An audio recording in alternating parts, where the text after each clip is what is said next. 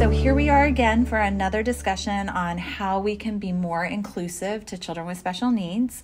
And today, I really want to talk about working with younger kids who have autism. That's something that we see a lot of in our clinic where they're either newly diagnosed or they're just little kids who have have not had a lot of exposure playing with other children, mm-hmm. being with people outside of their home, and trying to figure out strategies for engaging them. So, we're going to talk to Michelle today, who is an instructor in our autism program where they work with children between the ages of zero and three and really helping them learn how to play and interact with others. So, welcome. Hi. So I'm wondering what is um, a good way, just starting out. So your first time meeting a child, mm-hmm. they're coming to the environment for the first time. They might be a little bit anxious mm-hmm. or a little mm-hmm. aloof. Do you have any strategies that you find are consistently helpful for those kids? Mm-hmm. Yeah, the the first thing that I do when I work with um, kids with special needs, it, uh, I tend to focus on the relationship and build the trust first. Um, and that really involves following the child's lead and seeing what they're interested in. So I throw my agenda out the window, I throw what my expectations are um, out the window, and I just want to see what they like. So if we have, you know, toys, um, around the classroom.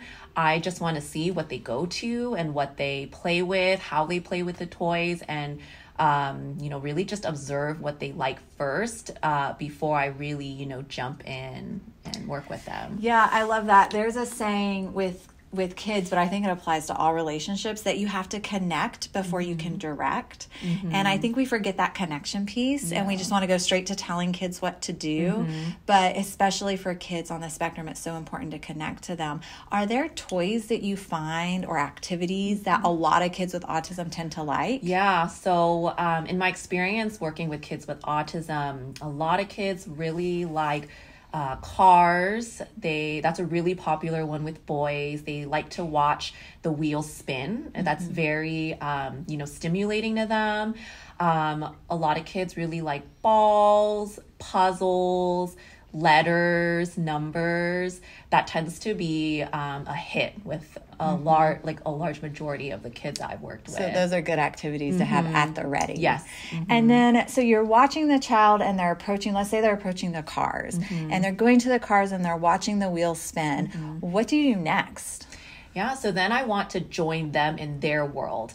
So their play is unique to them and that is, you know, satisfying to them. So even if it doesn't, you know, feel like play to us, we want to join into their world so they feel like we're trying to make a connection with them. So if the child is is turning the car upside down and spinning the wheels and i'm going to take my own car and i'm going to turn it upside down and spin the wheel next to them mm-hmm. so that is my way of joining their world to start to build that connection with them yeah i think that when we see kids playing in a way that's different than what we mm-hmm. expect. We think it's not play mm-hmm. because it looks a little weird, but you're so right. To them, it's play. Mm-hmm. And so, who are we to say what's play and what's not? You know, maybe right. I love to ride my bike, but you ha- hate riding a bike. Everybody has their own right. preferences, mm-hmm. and all preferences are okay. Mm-hmm. It's just a matter of figuring out how to connect with the child. Right. Mm-hmm. And then, once you've made that connection where they, they notice you're there, they're looking at your car too maybe mm-hmm. they're showing you your car their car mm-hmm. what's the next step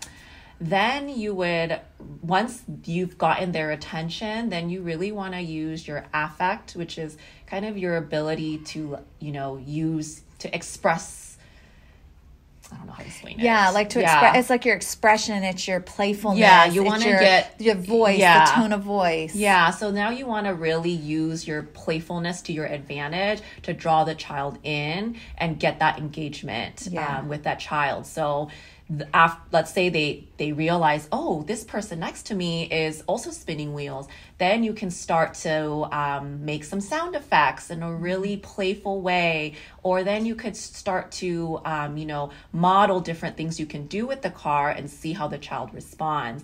If the child is very interested in you they're they want to be interested in what you're doing and that's a really good building block for learning from you. Yeah, so you have to establish that connection and you have to establish that like I like you feeling mm-hmm. if you yeah. want to teach them anything because they're right. not just naturally going to say teach me. Mm-hmm. You're you're having to bridge that gap and then mm-hmm. once you get their attention, then they're in a position where you can teach them something new like, "Oh, look, the car can go down the ramp" or mm-hmm. something like that.